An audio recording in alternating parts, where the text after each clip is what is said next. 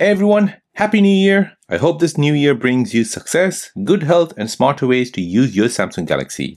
In today's video, I'm showing you powerful Samsung features that many users don't know about. So this feature will help you free storage, save data, protect your eyes, customize your phone, and improve your performance. Make sure to watch till the end because every feature is useful.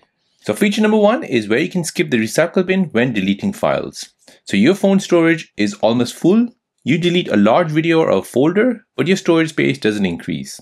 And that's because the files are still sitting in the recycle bin. So by default, Samsung sends deleted files to recycle bin inside the My Files app. So while this recovers files, it also continues using storage. So you can disable the recycle bin so files delete permanently as soon as you remove them. So let me show you how to do this. So here we'll go ahead and open up My Files. And if I go ahead and open my downloads, so if I go ahead and try to delete something, so for example, this one here, we'll go ahead and select this, press delete. Now, as you can see, I get an option over here to permanently delete this.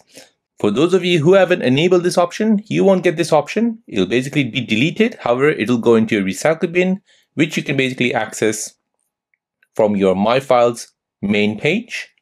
And here you'll be able to access all the files that you have deleted. However, this is still taking up space on your phone. So let me show you how to skip the recycle bin when deleting the files.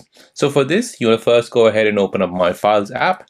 Go ahead and tap on the three dots, then tap on Settings.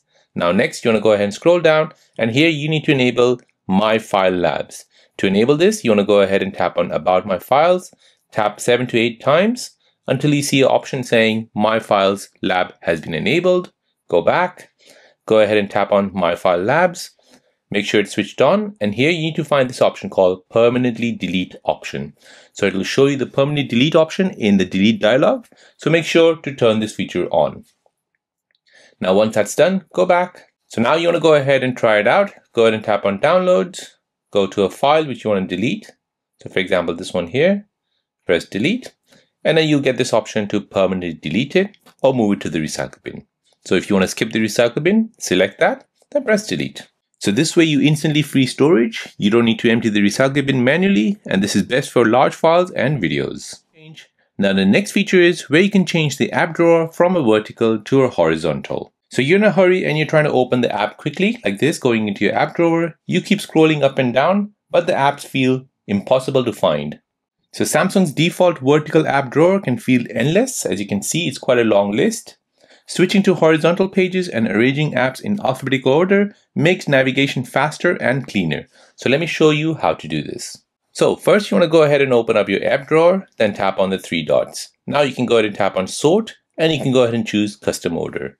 Now in custom order, it's basically a custom order, it's not alphabetical order. However, it does switch over to the horizontal swipe view. But now let's say you want it in alphabetical order, you don't want it in custom order. So in order to do this, you want to go ahead and first install the GoodLock app. So this is available in the Samsung store. Install that. Now in the GoodLock app, go ahead and, and open up the Home Up module. Make sure home screen is turned on, tap on it. And here you want to go ahead and find Use Settings dialog on home screen.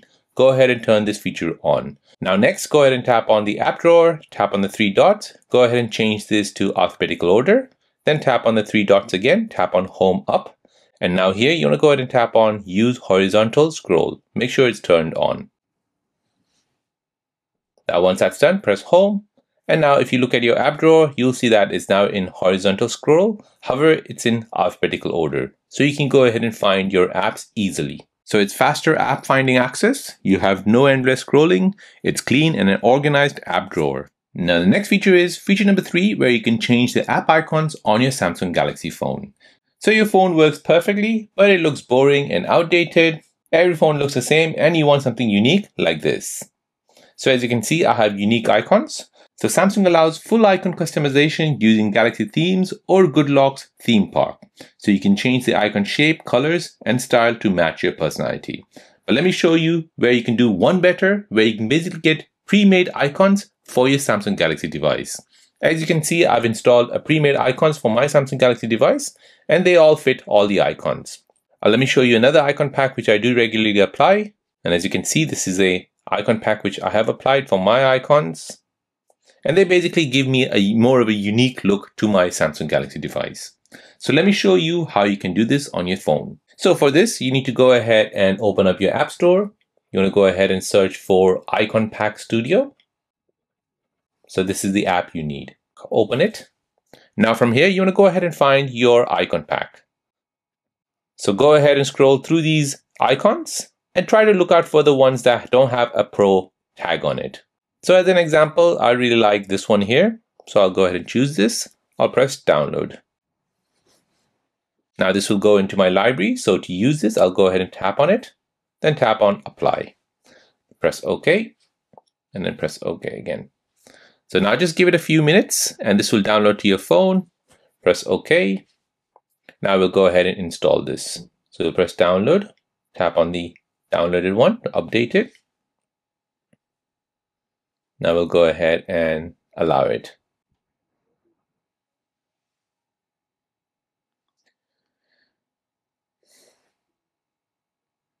Okay, now that's installed. So press home. Now you want to go ahead and open up your GoodLock app. Now within the GoodLock app, open up the theme park module. Now here, tap on icons, tap on create new, then tap on icon, and then tap on the icon pack. And here you want to go ahead and choose your exported icon pack, which is right here. Now just give it a few minutes. And then go ahead and press save, give it a name.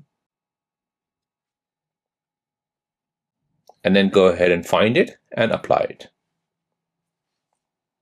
Now press home and your icon packs have been all been applied to your icons. So you get a personalized phone design. It's a fresh new look for the new year. It makes your phone feel brand new. Now the next feature is, feature number four is where you can turn on the red screen mode. So you use your phone late at night in the dark room. So the bright screen really hurts your eyes and affects your sleep. So with the red screen mode, this basically reduces blue light by applying a red color filter. So this makes nighttime usage easier on your eyes and helps maintain better sleep patterns. So let me show you how you can turn on the red screen mode on your Samsung Galaxy device.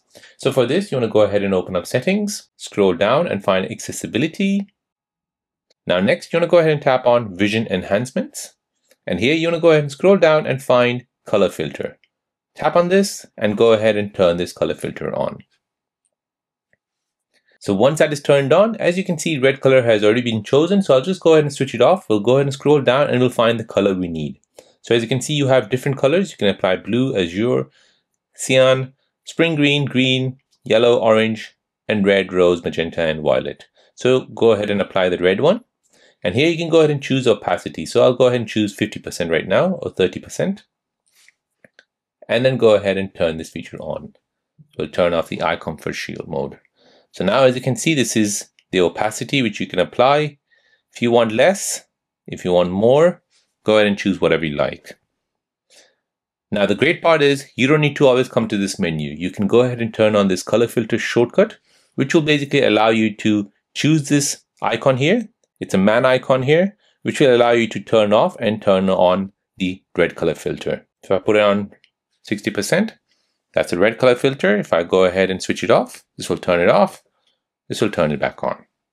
So this reduces your eye strain, is better night viewing, and it helps protect your sleep quality.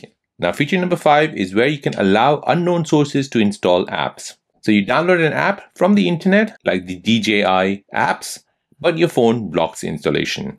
So as you know, the DJI apps are not on the Play Store, and you should go ahead and download them from the website itself. So Samsung blocks unknown sources by default for security. You can manually allow trusted browsers or file managers to install apps when needed. So let me show you how you can do this. So as an example, I'll go ahead and open up internet and I'll go ahead and download an app. Let's say DJI Ronin. So we'll download this app. Now this is a app from an unknown source, so I won't be able to install this. So as you can see, if I go ahead and try to install this app by locating it from my files, It'll basically say for security reason, your phone currently isn't allowed to install unknown apps from this source.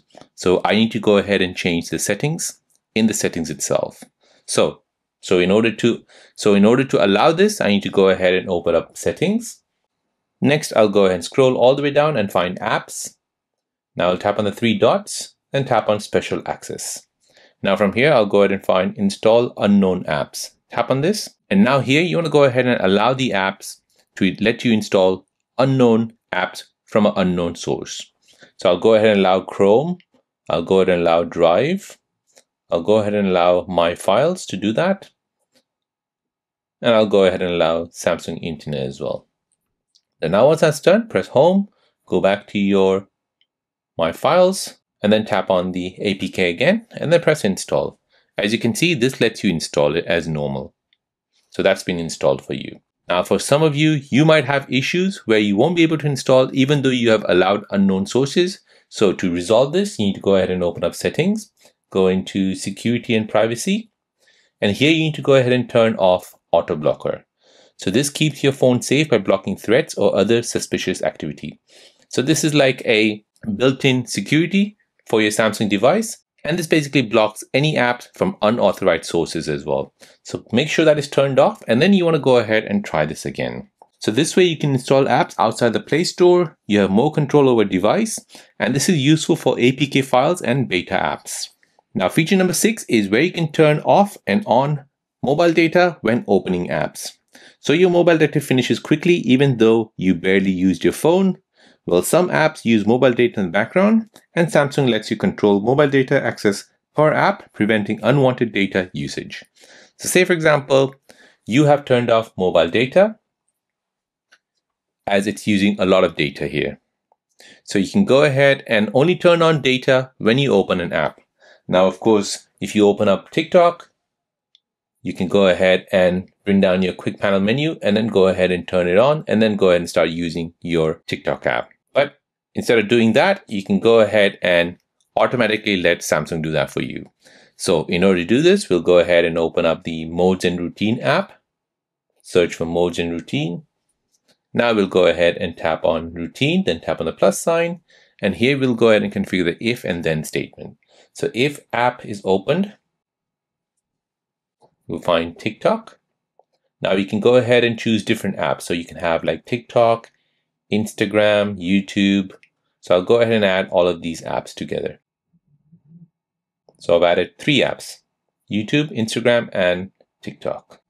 So now if Instagram, TikTok, or YouTube opens, then I want mobile data to turn on. Turn on, done. Press save, done, and home. Now I'll go ahead and just turn off Wi-Fi to demonstrate this.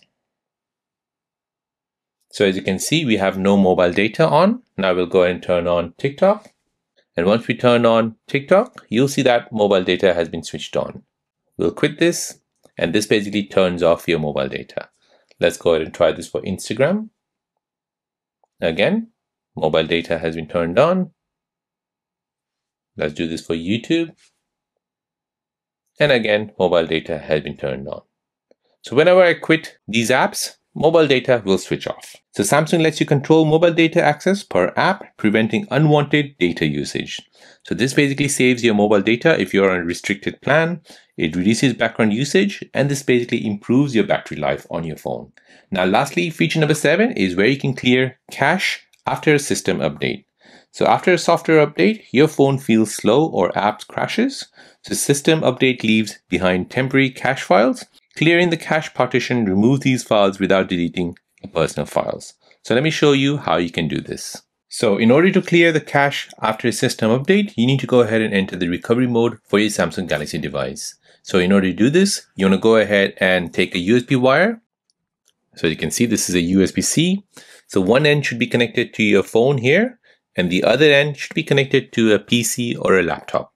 So make sure it's both are connected to each other. Now I'll go ahead and show this to you.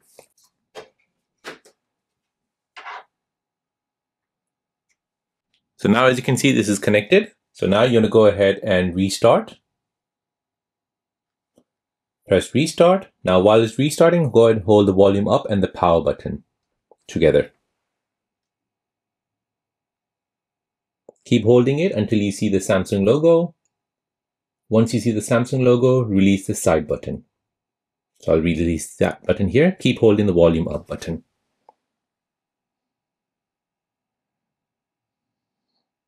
And once you do this, you'll enter the recovery mode. So now once you're here, you want to go ahead and browse through this menu and you want to go ahead and find wipe cache partition. Go ahead and press the power button to accept that. Press yes. And now that cache partition has been wiped. So now go ahead and choose reboot system here and then go ahead and restart the device. Now you can go ahead and unplug the device. So as you can see, after you do this step, you have faster phone performance, you fix any lags or any app crashes, and there's no data loss as well in this. And that's it for today's Samsung Galaxy tips videos. If this video helped you out, please like this video. It helps YouTube share it out to all the Samsung users. Comment which feature you like the most. Subscribe for more Samsung tips and hidden features. So the more like, the more comments, and more subscription I get, the more YouTube pushes this video out to others who need it. Once again, thank you for supporting me throughout these years. Happy New Year to you and your family, and I'll see you in the next video.